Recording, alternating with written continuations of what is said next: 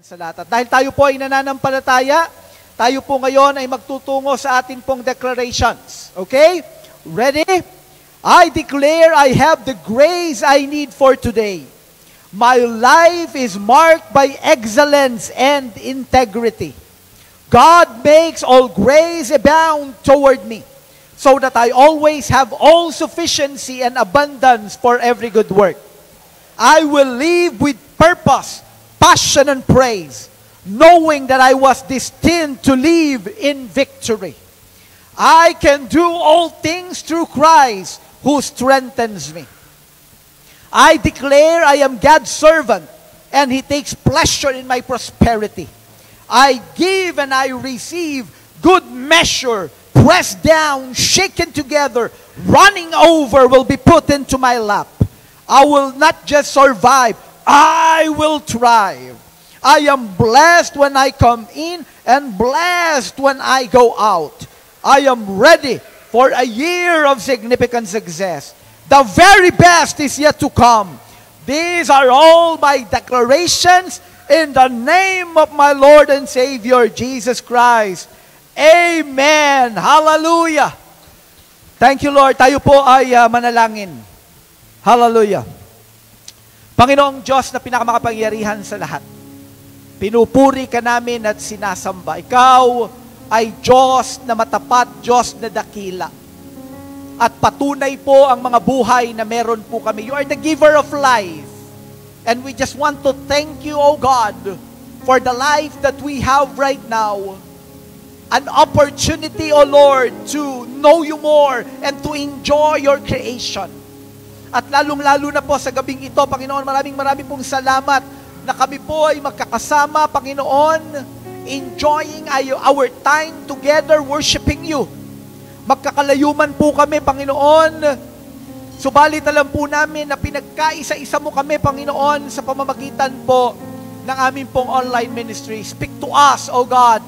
Holy Spirit, touch your people. Holy Spirit, Change us, O God. And may we receive, O God, the overflowing anointing power that comes from you. Empower your people, Lord, and pour out your blessings upang kami pong lahat ay magamit nyo to the maximum level. Ito po ang palagi naming dalangin. This is the desire of our hearts, O God, that all of us will be used to the maximum level for the purpose of world evangelization. All glory, all honor, all worship belongs to you alone. In Jesus Christ's name. Amen. Thank you, Lord. Hallelujah. So once again, welcome to our uh, prayer night, our Miracle Friday. Let us expect miracles from the Lord. Amen.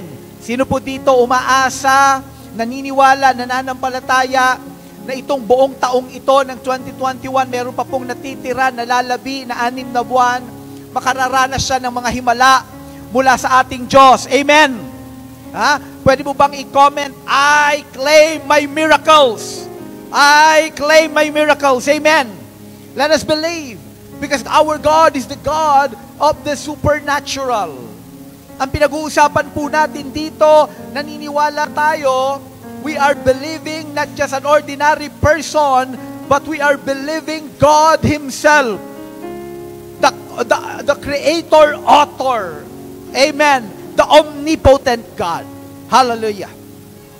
At ang atin pong pag-uusapan sa gabing ito, binigyan ko siya ng title na Worship.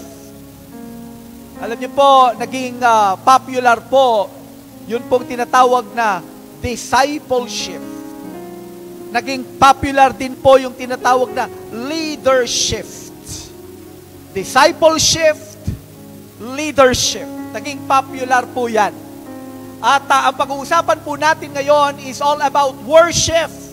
Ang ibig pong sabihin nito, ang ibig pong sabihin ng worship, ito po ay pagbabalik natin sa totoong pagsamba sa ating Diyos. Amen. Ah, kasi po, ah, nagkaroon po ng tinatawag na evolution. Para bagang nagkaroon ng, mat, ng patinding pagbabago ng paglayo. No, na para bang nagkaroon ng ibang meaning ang worship. No? But we need to return to the original meaning, the biblical meaning of worship, not according to man's definition, not according to man's standard, but according to the according to God, according to the word of God. Kung naaalala niyo po sa CRCC, ang worship ay isa po sa ating core values.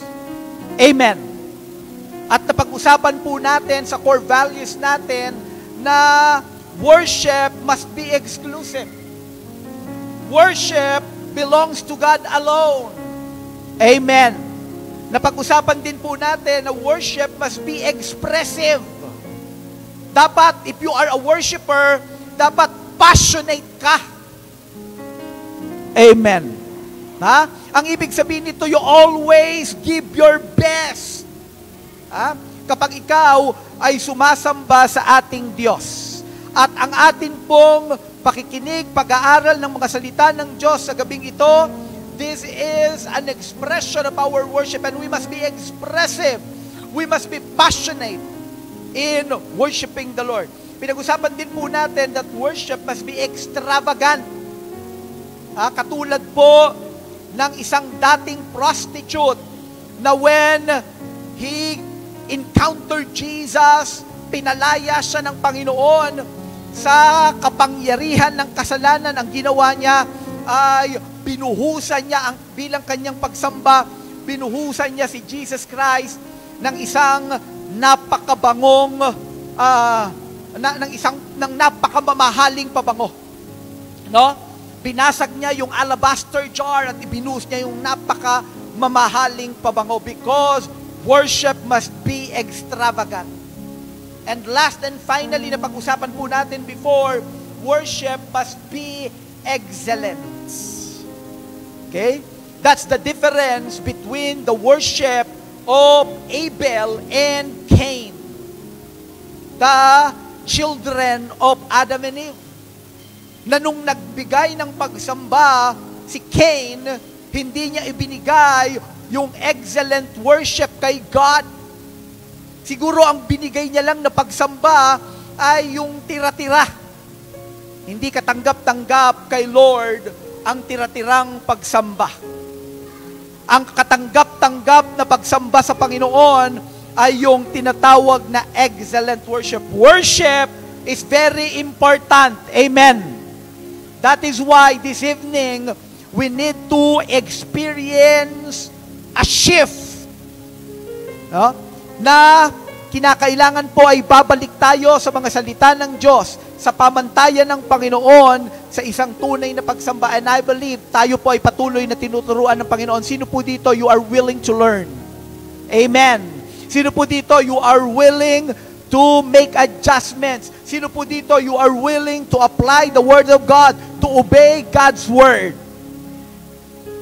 Napakahalaga po ng worship that the word worship is found 119 times in the Bible. Ganun po kahalaga. Na paulit-ulit, na paulit-ulit, na paulit-ulit na ito ay nababanggit at sa, sa tuwina na ang salitang pagsamba, ang salitang worship ay nababanggit sa Bible, ito po ay may napakahalagang uh, napakahalagang uh, paggamit, pagkakagamit ng salitang pagsamba. And this evening, we will read a story in the Bible no, in the life of Jesus Christ. Nang si Jesus Christ po ay intentionally, He entered uh, a place no na hindi po pinupuntahan ng mga Jews, ng mga Israelites. A forbidden place for the Jews. At ito po ang Samaria. Intentionally, Jesus entered this place. Alam niyo po kasi, ay merong hitwaan ang mga Samaritans at ang mga Hudyo ang mga Israelites. Okay? Kasi ang tingin po nila sa mga Samaritan, ito ay may mga hybrid. No? Sila po ay nag-intermarry sa ibang mga lahi na inutos sa kanila ng Diyos na wag nilang gagawin. At dahil po dito ay merong nabuong hindi ma- mainam na ugnayan na relationship. May meron pong hidwaan between the Samaritan and the Israelites. But Jesus Christ, a Jew, intentionally decided to enter Samaria. At doon po, sa isang balon sa Samaria, siya po ay nakatagpo ng isang Samaritan woman. I believe, one way or another, ay nagkaroon na po tayo ng pagkakataon na mapag-aralan ang kwento na ito between Jesus Christ and the Samaritan woman. But this evening, nais ko pong magtungo doon po sa usapan nila sa John chapter 4 verse 19. Pagkatapos po na ipahayag ni Jesus Christ na sinabi ni Jesus Christ na ang totoo meron kang limang asawa. So medyo ano po no nabigla. Yun pong babae na ito paanong nalaman ni Jesus Christ ang situation ng kanyang buhay, samantalang hindi niya naman ito binobroadcast sa kanyang FB account o sa kanyang Instagram. Pero nalaman ito ni Jesus. So, puntahan po natin ito sa John chapter 4, verse 19. Sir, the woman said, I can see that you are a prophet. Our fathers worshipped on this mountain, but you, you just claim that the place where we must worship is in Jerusalem. Jesus declared, Believe me, woman, a time is coming when you will worship the Father neither on this mountain or in Jerusalem. You Samaritans worship what you do not know. We worship what we do know, for salvation is from the Jews.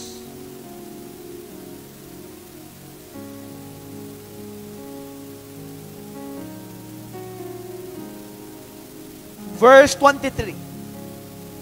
Yet a time is coming and has now come when the true worshipers will worship the Father in spirit and in truth. For they are the kind of worshipers the Father seeks.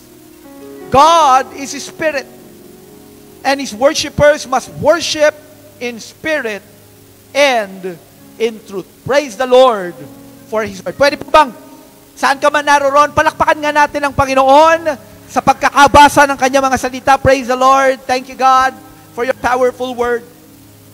Ako po ay naniniwala na ito pong Samaritan woman na ito, when he asked Jesus, nung siya po ay nagtanong kay Jesus, sabi niya, ang kami na mga Samaritano, ah, we Samaritans worship on this mountain. But you, Jews, claim that the place where we must worship is in Jerusalem. I believe na yung pong tinugunan na ito ng Samaritan woman, this is not, this is a theological issue. It's all about the Messiah. But I believe the question, that the statement of the Samaritan woman is not for the purpose of theology, but a subconscious desire na meron po siyang ano, meron siyang meron siyang nais gawin na hindi niya na magawa because she was outcast. Hindi siya makapagsamba doon sa worship place ng mga Samaritan, ng mga Samaritans dahil sa sitwasyon ng kanyang buhay. Kaya nga nagpunta siya doon sa well, mag-isa lang. Maaring pinili niya to be isolated or yung mga tao sa kanyang paligid ay piniling siya ay i-outcast. At hindi din naman siya makapunta sa Jerusalem. Kasi ang Jerusalem ay para sa mga sasamba na mga Israelites. So, I believe na itong Samaritan woman na ito, meron siyang pagnanais na sumamba sa Diyos. Parang ang, yung statement na yon, parang nagtatanong siya kay Jesus Christ, I want to worship, but where? Saan ako pwedeng sumamba? At kung mayroong lugar na pwede akong sumamba, paano ko ito gagawin? Paano ko ito gagawin na magiging katanggap-tanggap ako sa Diyos? Parang tinatanong niya kay Jesus, paano ba talaga ako sasamba? Ano ba talaga yung tunay na pagsamba? That is why we entitle this topic Worship. Kinakailangan po na dahil napakahalaga nito, kinakailangan na makasiguro tayo na ang ating pagsamba ay katanggap-tanggap kay God. Hindi katulad ng pagsamba ni Cain na nireject ng Panginoon. At para po mas malinawan po natin ang pinag-uusapan natin sa gabing ito, nais ko pong magbigay ng ilang mga katotohanan na pwede po nating pagpulutan ng mga karunungan at kaalaman for us to have a better understanding of worship. Number one is the purpose of worship. Ano nga ba ang layunin? Bakit tayo sumasamba?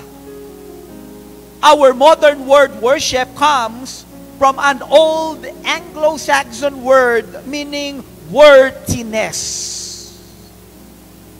The essence of worship is to ascribe words. Na pag sinabi palang pagsamba, ang ibig palang sabihin nito ay pagbibigay, ito ay pagbibigay sa isang karapat dapat na ang pagsamba ay hindi binibigay kung kani-kanino lang. Subalit ang pagsamba ay may pinipili. Kaya nga po, pinag-usapan natin, kanina na mention ko, dapat ang worship ay exclusive para lang kay God. Amen. In the book of Psalm chapter 29 verse 1, ang sabi po dito, ascribe to the Lord. Almighty ones, ascribe to the Lord glory and strength. Ascribe to the Lord the glory due His name. Worship the Lord in the splendor of His holiness. Yan po yung ibig sabihin ng worship. Meron tayong pinaglalaanan. Yung pinaglalaanan natin ay karapat dapat. The purpose of worship is not a what, but a who. Sino ba ang ating sinasamba? Kasi it's very possible that because we do not really understand what worship is, hindi na natin namamalayan ang, ang nasasamba na pala natin ay mga bagay sa mundong ito. Ha? Ang nasasamba na pala natin ay yung mga bagay na nakapagbibigay sa atin ng kagalakan, ng kasiyahan, ng karangalan. Yung iyo palang karir, yan na pala yung nagiging, yan na pala yung pagsamba mo. Yan na pala yung iyong sinasamba. So napakahalaga mga kapatid that we need to have the better understanding of worship. In true worship, we are not the audience, God is. The purpose of worship is to give the worship to the one who is worthy. And that is God. Amen. It's not all about us, it's all about God. Alam nyo, dati nakaririnig ako ng mga, kapag ka may mga gawain, and then nagkaroon ng kantahan, ng pag-awi, pag-aawitan, ng pagsamba, and then pagkatapos ng awitan ng pagsamba, pagsamba sasabihin ng MC, Are you blessed? Are you all blessed? Alam nyo po, sa pagsamba, hindi tayo dapat ang na-bless. Ang unang dapat na na-bless, na bigyan ng, pag, ng papuri, ng lahat ng pagsamba. Sabihin nga po natin, lahat ng pagsamba. Ha? Iiwasan na po natin yung ganito. Sino po yung nakarinig ganito? Panginoon, binibigay, binabalik namin sa iyo ang lahat ng pagsamba. O ibinabalik namin sa iyo ang mga pagsamba. Iwasan po natin yon. Kasi ang ibig sabihin nung ibinabalik, kinuha mo muna. Pagkatapos ibinalik mo, hindi po natin dapat kuhanin ng pagsamba. Ang pagsamba ay para lang kay Lord. Exclusive. Amen. At minsan naman po, iwasan din natin ito. Sinasabi natin, Panginoon, ibinibigay namin sa iyo ang pinakamataas na pagsamba. Eh, paano yung mataas lang na pagsamba? Ang ibinibigay mo lang ay yung pinakamataas. Alam niyo po ba na pag sinabing pagsamba, exclusive yan kay God? Maliit man yan na pagsamba, malaki man yan na pagsamba, mas malaki man yan na pagsamba, pinakamataas man na pagsamba, lahat yan, basta pagsamba, para yan kay Lord. Kaya mas maingat na pwede nating sabihin, Panginoon, ibinibigay namin sa iyo ang lahat ng pagsamba. Amen. In the book of Psalm, chapter 100, ito po ang pagkasabi tungkol sa worship. Shout joyfully to the Lord, all the earth. Serve the Lord with gladness. Come before Him with joyful singing. Know that the Lord Himself is God. It is He who has made us and not we ourselves. We are His people and the sheep of His pasture. Enter His gates with thanksgiving and His courts with praise. Give thanks to Him. Bless His name. For the Lord is good. His loving kindness is everlasting. And His faithfulness to all generations. Ano po yung mga matututunan natin dito? sa Psalm 100 about the purpose of worship. Number one, the purpose of the purpose of worship is to serve God.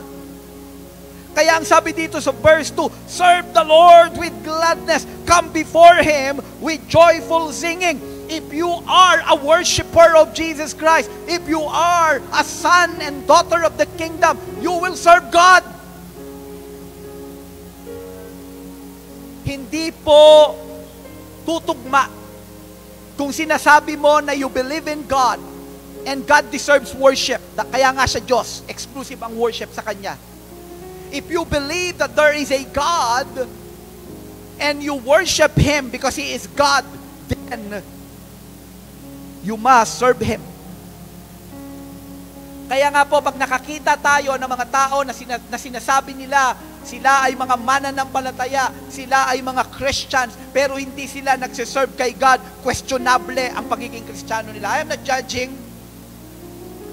Pero kung titignan po natin, ang tinuturo ng Biblia ang isang Kristiyano na sumasamba sa Diyos, naglilingkod sa Diyos. Amen. Kung ikaw ay naglilingkod sa Panginoon, pwede mo bang i-comment, I am serving my God. Amen. At makikita pa rin po natin sa Psalm chapter 100, the purpose, the purpose of worship is to acknowledge who God is and what He has done. Sino si God?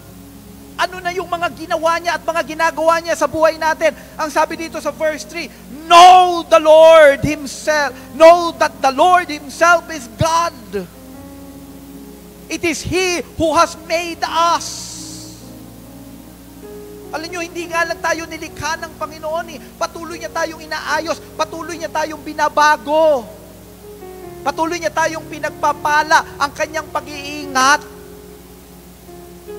Amen.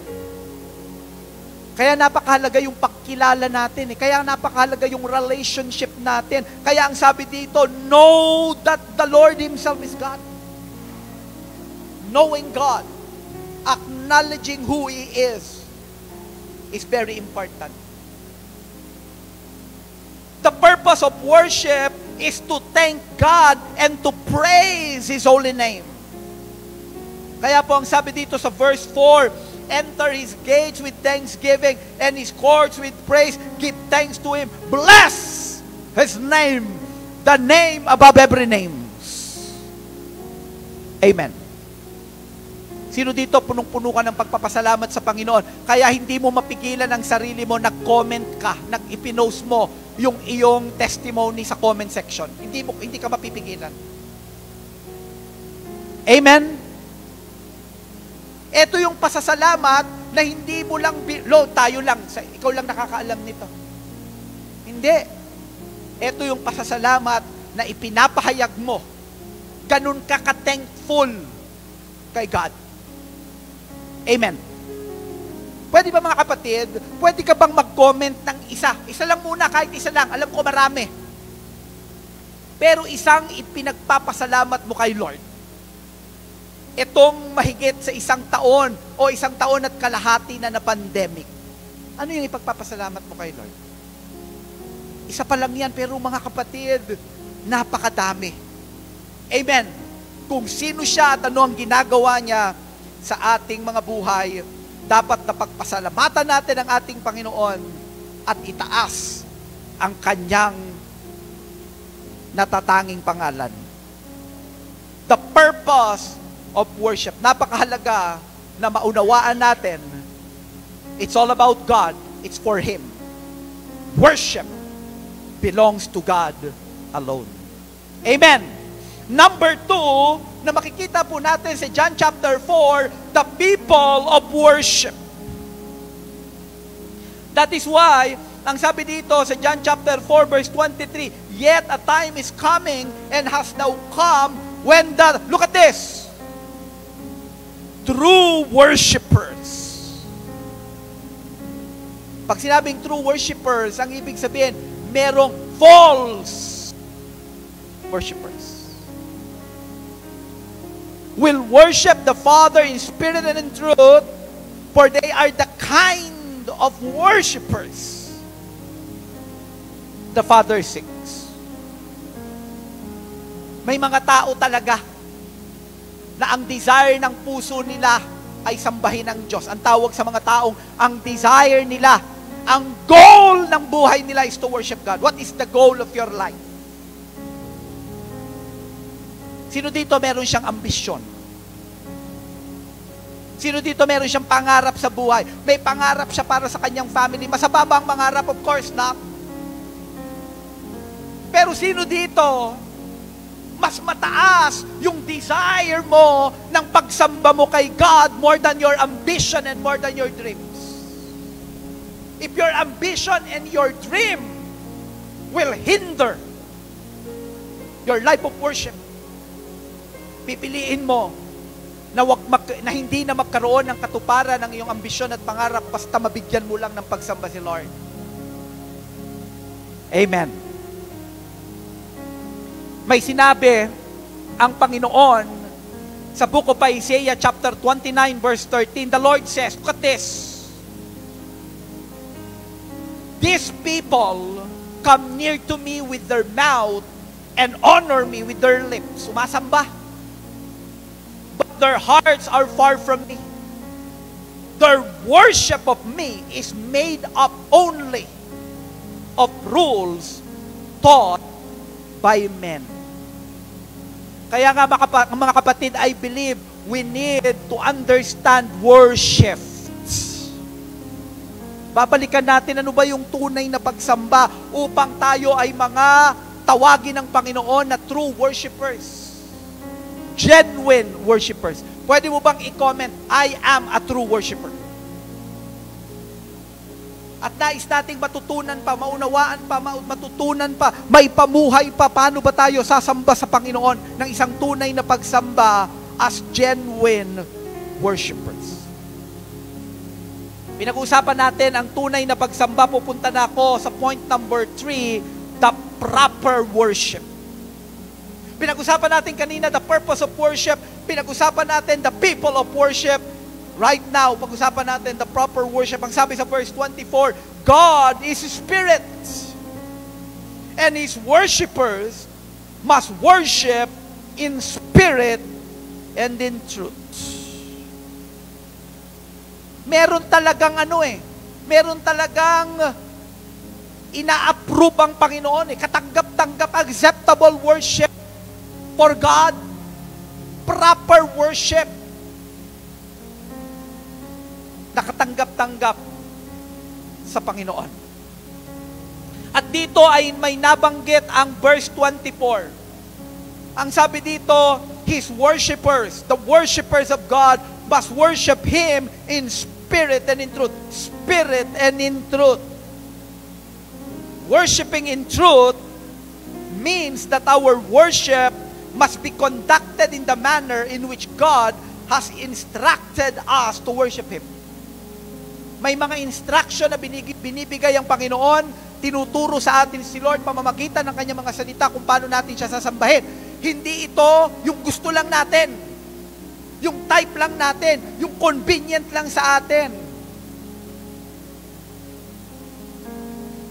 Kaya maging sa pagbibigay ng mga hain at alay, yung mga pagsamba sa pamamagitan ng mga hain, may instruction si Lord. Huwag niyong ibibigay sa akin yung mga hayop na may kapansanan. Hindi po pwede kay Lord yung basta-basta. Yung uh, tira-tira. Amen. Ang tinatanggap ng Panginoon, the first and the best.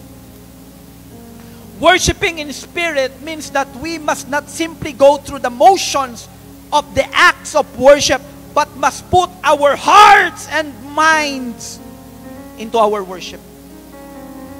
Yun bang pag nag-aawitan, halimbawa gagamitin natin, na tayo ay sumasamba sa pamamagitan ng pag-aawitan, hindi yung umaawit ka lang, sumabay ka lang, na pag medyo nagkamali yung yung musician, affected ka na kagad, nawala na yung mood mo sa pagsamba.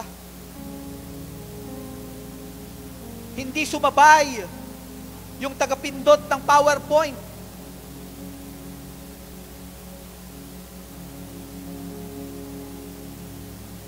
Ha? Sa church makikita yan. Pagka hindi makasabay yung pumipindot ng PowerPoint, lingon kagad yung mga tao, sabay-sabay yan. Yung pumipindot sa PowerPoint, parang natutunaw na yelo sa gitna ng disyerto.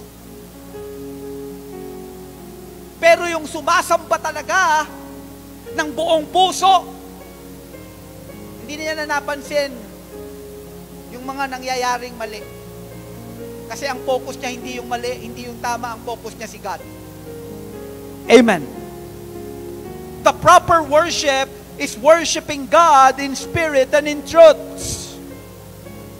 Mahalaga kay God yan na pinapahalagahan natin ang worship natin. Nagiging maingat tayo sa pagsamba kay Lord. Binibigay natin yung best na worship natin kay God. Hindi lang yung tinig natin pag umaawit, hindi lang yung boses, hindi lang yung paglilingkod, not just our actions, but the motives behind our actions. In the book of Leviticus chapter 10, during the time of Moses and Aaron, tingnan niyo po ito, verse 1, Aaron's sons, Nadab and Abihu, took their censers, put fire in them, and added incense. And they offered unauthorized, look at this, they offered unauthorized fire before the Lord, contrary to His command. Hindi nila sinunod yung ipinag-uutos ng Panginoon, kung ano lang yung gusto nila. Hindi naging very specific ang Bible maaaring yung oras, hindi authorized yung oras ng pagsisindi nila ng apoy o maaaring hindi ka kasi pwedeng gumamit ng apoy na manggagaling sa labas. Pero dapat yung mga apoy lang na nandoon sa altar. Kaya nga hindi po pwedeng mamatay ang apoy doon. Pero one thing is for sure, ang ginawa ni Nadab at Abihu unauthorized unacceptable to the Lord. And look at what happened in verse 2. So fire ca- ca- came out from the presence of the Lord and consumed them. And they died before the Lord. Mahalaga ba kay Lord ang worship? Mga kapatid, hindi lang mahalaga, importante pa. Ha? Sipin mo yon? Hindi lang mahalaga, importante pa. Kung kaya't mga kapatid, no? Itong worship na ito dapat din pinapahalagahan natin. Amen. Kaya pagdating ng verse 3, Moses then said to Aaron, This is what the Lord spoke of when he said, Among those who approach me, I will show myself holy in the sight of all the people. I will be honored. Proper worship, mga kapatid. Maging maingat tayo. Huwag basta-basta pagsamba. Actions. Ha? Umaawit man tayo, o ano man ang mga ginagawa natin na kapahayagan ng ating pagsamba, maging maingat po tayo. Number four is the place of worship. Ang sabi dito sa verse 20, John chapter 4, Our fathers worship on this mountain, but you Jews claim that the place where we must worship is in Jerusalem. Verse 21, Jesus declared, Believe me, woman, a time is coming when you will worship the Father, neither on this mountain or in Jerusalem. Alam niyo po, nung panahon nila, ang mga Israelites, meron lang silang place of worship sa Jerusalem. If they want to worship God, they will go to Jerusalem to worship. At ganun din ang mga Samaritans, meron lang din silang place of worship. Hindi ka pwede kung saan-saan mag-worship. Pero may sinabi si Jesus dito, darating ang panahon. Ha? Hindi lang yung Jerusalem na yan, hindi lang yung place of worship of the Samaritans.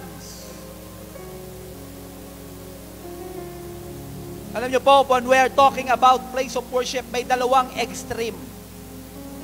Ang unang extreme, in our modern times, I'm talking about right now, ang isang extreme when we are talking about place of worship, yung meron lang particular place.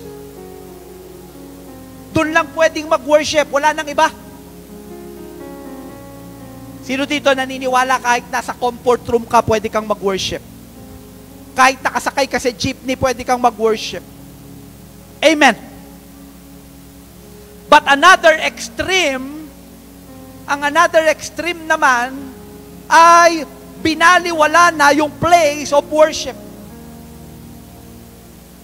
Kung titignan po natin, sa Bible ay may mga tinatawag na place of worship. Ito po nung Old Testament, na kung saan doon nananahan ang presence ni God. Tingnan po natin ang ilang mga example. In the book of Exodus chapter 25, ang sabi po dito sa verse 8, Then, panahon po ito ni Moses. Ang sabi po ng Panginoon, Then have them make a sanctuary for me, and I will dwell among them. Sasamahan ko sila. Kaya yan po yung place of worship, yung sanctuary, yung tent. Yung tent of meeting, dyan po sila pwedeng sumamba. Bakit nandyan yung presence ni Lord? Ang sabi ng Panginoon, I will dwell among them Make this tabernacle and all its furnishing exactly like the pattern I will show you. Kaya pagdating ng chapter 36, sinimulan nila Moses na gawin yung tinatawag to build the sanctuary. May mga kinasihan ng Panginoon ng mga husay at galing. Si Lord ang nagbigay ng mga talento kaya alam nyo, kapag ka may gawain ng Panginoon, si Lord ang magbibigay ng mga talents. Amen. Ha? Sino dito sa gabing ito, gusto mong makasalo pa ng maraming mga talents, spiritual gifts from God. Lord, may you pour out spiritual gifts, O God, unto your people. Hallelujah. Pagdating po ng Exodus chapter 36, eto na po, Binibuild na nila yung sanctuary. They received from Moses all the offerings the Israelites had brought to carry out the work of constructing the sanctuary and the people continued to bring free will offerings morning after morning. Verse 4. So all the skilled craftsmen who were doing all the work on the sanctuary left their work.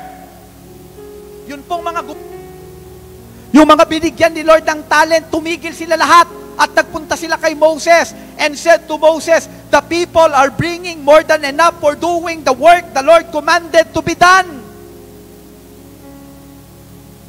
Grabe nagreklamo. Yung mga gumagawa, sabi, Moses, sobra-sobra na yung mga dinadala dito ng mga tao, sobra-sobra na. Praise the Lord.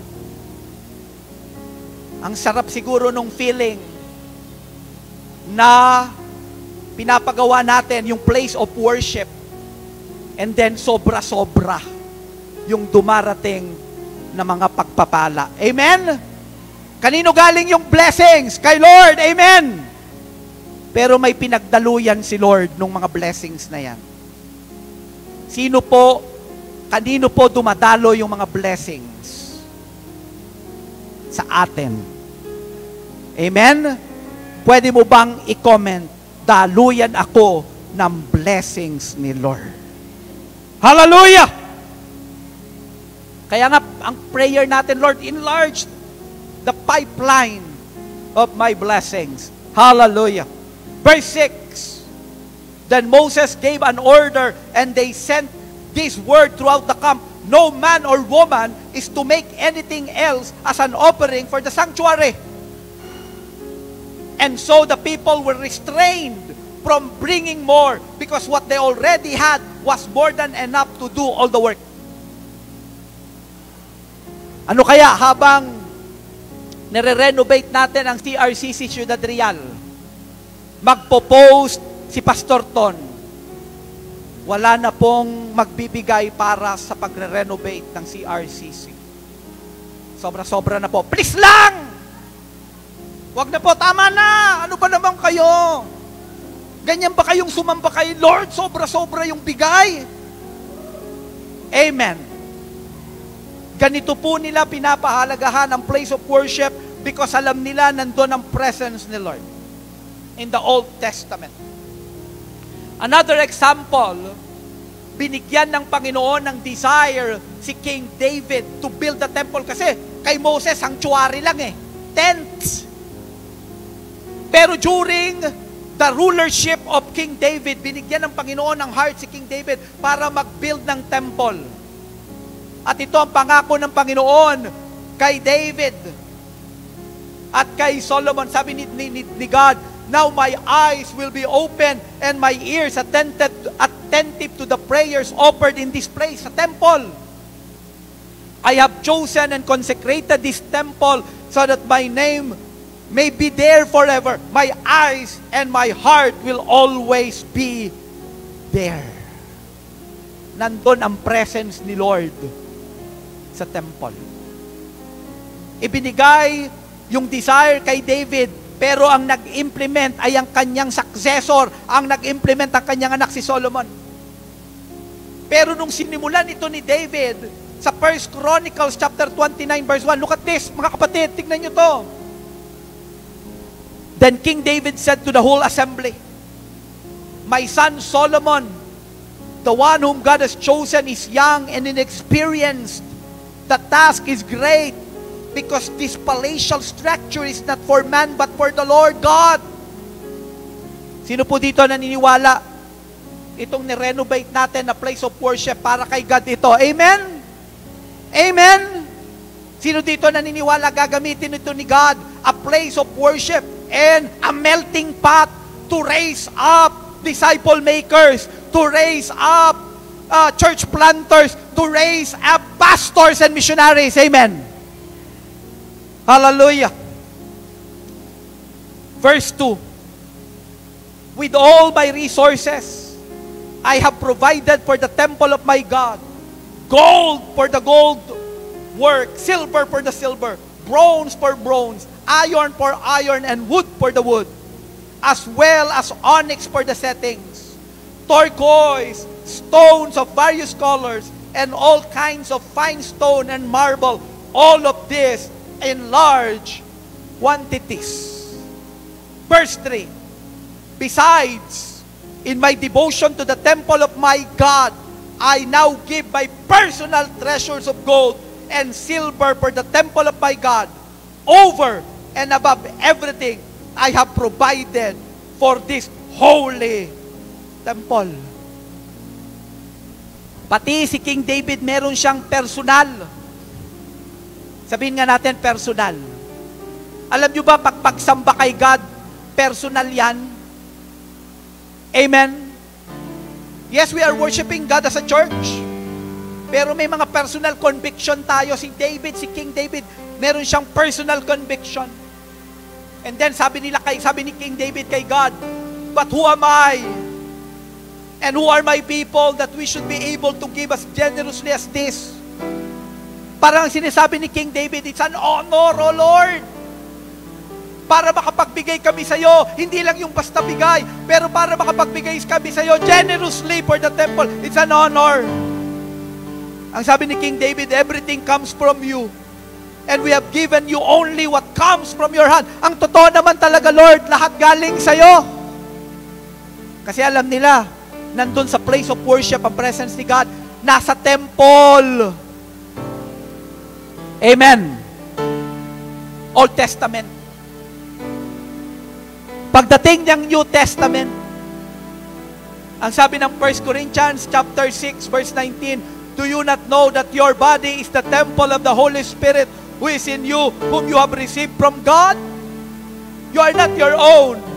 You were bought at a price. Therefore, honor God with your body. Pagdating ng, ng New Testament, sino na yung temple? Tayo na. Pero ang ibig bang sabihin nito, Pastor, wala ng place of worship. Yung po yung sinasabi ko sa inyong isang extreme. Yung binaliwala na yung place of worship kasi tayo na yung temple eh. Nasa atin na yung Holy Spirit. Nasa atin na yung presence ni God.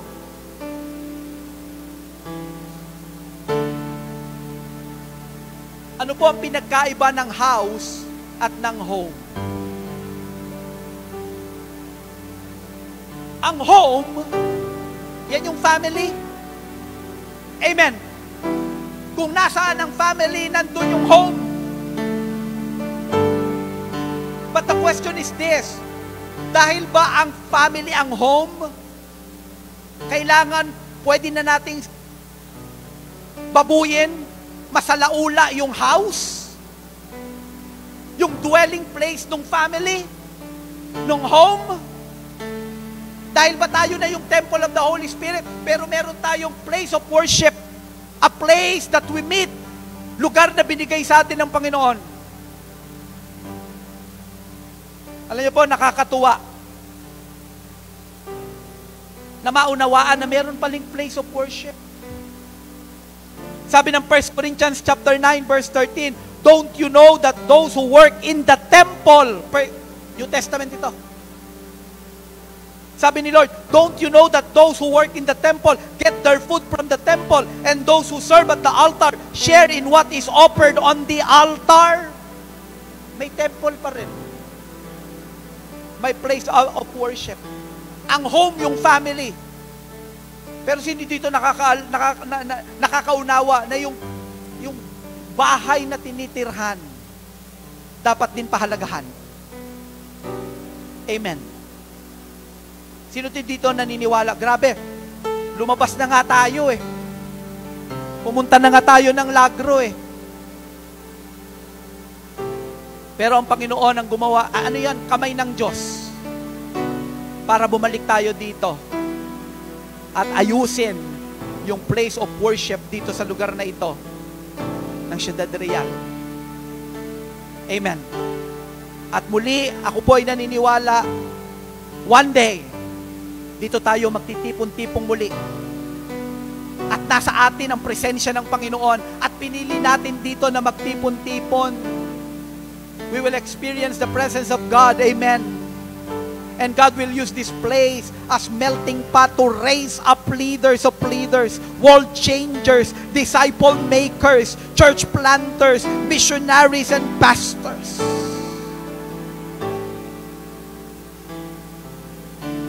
And praise the Lord. Napakarami pong mga challenges nung atin po itong nire-renovate. Nung sinimulan po natin itong i-renovate for your information mga kapatid, binabayaran pa natin yung monthly natin doon sa Lagro for seven months na hindi natin nagamit. Binabayaran natin yon. And at the same time, may mga inaayos pa tayong mga papers dito sa lupa natin, dito sa property natin. And at the same time, nagsimula tayong i-renovate ito. But praise God, kasi may mga may mga anak ng Diyos na naging matapat. Ipinaglaban yung kanilang katapatan ng kanilang pagsamba kay Lord. Praise God for your life, my brothers and sisters. Amen. But I believe this evening, tinuturuan tayo ng Panginoon how to really worship Him. The purpose of worship, the people of worship, the proper worship, and the place of worship. Dapat pahalagahan natin yan. Amen. And God placed in our heart na ipakita natin kay Lord, Lord, we love this place. Alam namin, binigay mo to sa amin. And we want to be part of this.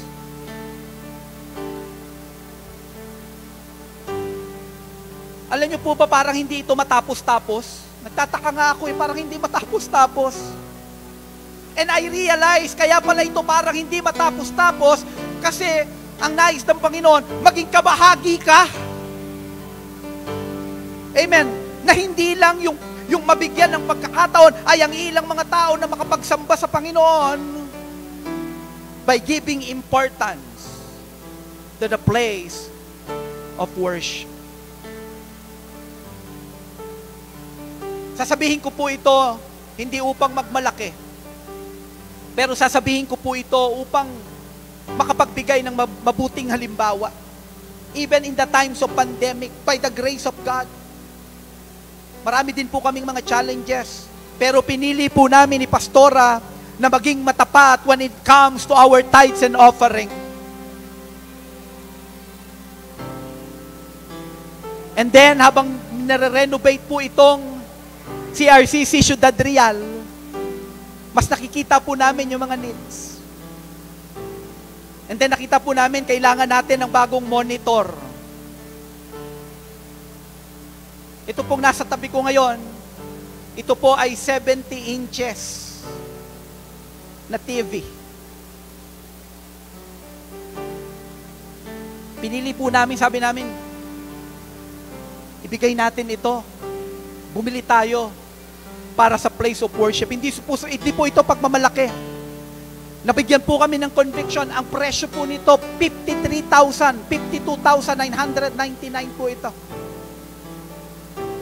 Ito pong nandito sa harapan ko, sa amin po ito, TV namin sa bahay. Pinakalas ko sa mga anak ko, sabi mo, mukhang mas bagay na nandito ito para may malaki tayong monitor. Because we believe that this is our place of worship. And I'm challenging you, if you want to have part dito sa ginagawa ng Panginoon, meron po tayong tinatawag sa CRCC, Gifts to the Temple. Gagawin po natin ito. I want you to pray and be sensitive to the leading of the Holy Spirit, to the leading of God. At magkaroon po tayo ng pagkakaisa na ito po ay bibigay natin. Magmula po ngayon hanggang sa buong month of July. Magkaroon po tayo ng commitment and I'm encouraging all of you to pray. Maybe this is not for everyone. Ulitin ko po. Maybe this is not for everyone. But if you are here and you are listening and you have that conviction that God is talking to you, yung pong ano, yung, yung, yung amount, it doesn't matter. It doesn't matter kung ano nasa puso mo na nais mong ibigay para sa gawain ng Panginoon for the place for the place of worship. I believe if you are giving your best, it will be acceptable to the Lord. Kung sa gabing ito, merong nilalagay ang Panginoon sa puso mo. Ngayon, alam mo na, ngayon pa lang. Kasi kami, ganun kami, hindi na nag-iisip ng, sa amin ha, sa amin, hindi na kami nag-iisip ng matagal pag inilagay ng Panginoon, may mga maaapektuhan. Naku, marami pong naapektuhan dahil dito. Hindi naman po maliit na pera Ang 53,000, napakalaki po nun. Ramdam na ramdam namin. Pero nung ibinigay yung conviction, then, yes Lord, kung merong nasa puso mo, and you are bold enough, you can comment it in the comment section. Pero kung wala pa, you're still praying, continue to pray. Pero ang uh, encouragement ko po sa inyo, huwag nyo na yung patagalin. Be sensitive to the leading of the Holy Spirit. But if you are married, talk to your wife, talk to your husband, pagkaisahan niyo po yan. But this evening, before we, before we end, I would like to pray for you. Pwede ko po bang hilingin, tayo pong lahat ay tumayo. Hallelujah.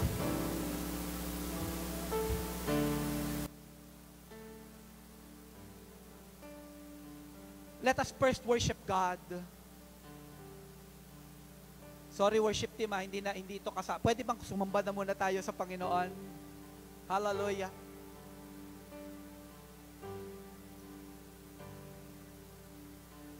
Thank you, Jesus. Come on, church, let us uh, sing before the Lord. And after Ah. singing, we will pray together. I will pray. I will pray for you. We will pray together. Come on, let us worship God in spirit and in truth. Hallelujah. Thank you, Jesus.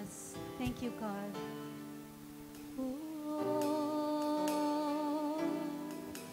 Come on, let's give our best worship to God, to the King of Kings, to the Lord of Lords. Hallelujah.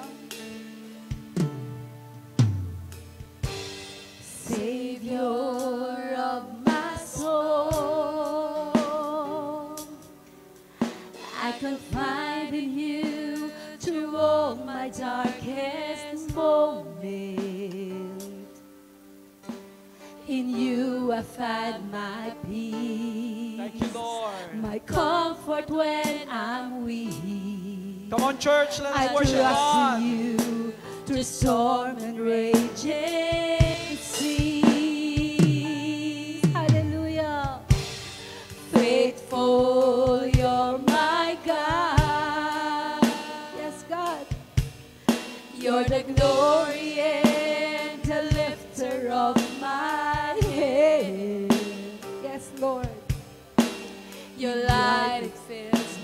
My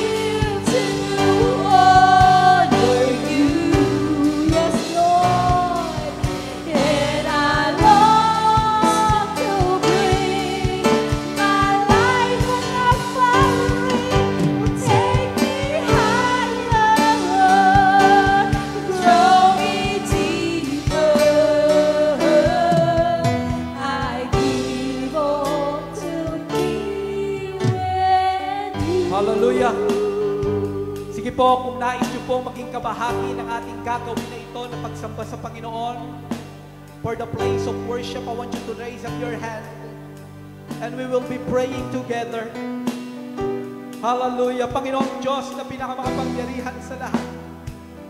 Nakataas ang kamay ng inyong pong mga anak, Panginoon, sa inyong harapan. Tanggapin niyo po, Diyos, ang aming pong kapahayagan ng pagsamba sa iyo. Thank you for our place of worship, O God. And we are praying, Lord, gamitin niyo po ito, Panginoon, upang mabigyan ka namin ng pagsamba as one people, as one body, O God. Gamitin niyo po ang lugar na ito as a melting pot, O God, to raise up disciples, disciple makers, to raise up leaders of leaders, to raise up church planters and missionaries and pastors, O God, for the fulfillment of world evangelization. At dinadalangin ko po ang mga nakataas na kamay, O Diyos. Bless the works of our hands. Hallelujah. Padaluyin mo ang masaganang pagpapala upang maibigay namin ang very best, the very best worship for you. Because you are worthy. You are worthy. And we ascribe to you, O God, the glory and the honor. Hallelujah. Hallelujah. Thank you, Lord. Thank you for choosing us. Thank you for using us, O God. Hallelujah. Panginoon, lahat ng papuri, lahat ng pasasalamat, lahat ng parangal, lahat ng pagsamba ay para lamang sa iyo. In Jesus Christ's name, Amen! Hallelujah!